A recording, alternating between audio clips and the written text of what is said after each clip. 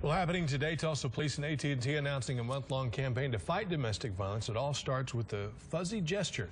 If you bring a teddy bear to any Tulsa area store, you can get 25% off any accessory in store. You can drop off the bears until October 26th. Please tell us these bears can be a huge help for children who are caught up in domestic violence. As a police officer, you know, the child needs to be comforted so that I can get the parents to cooperate we're told Oklahoma ranks 15th in the nation for domestic violence, and with domestic violence intervention services serving 400 Tulsa area children last year alone. Now, from the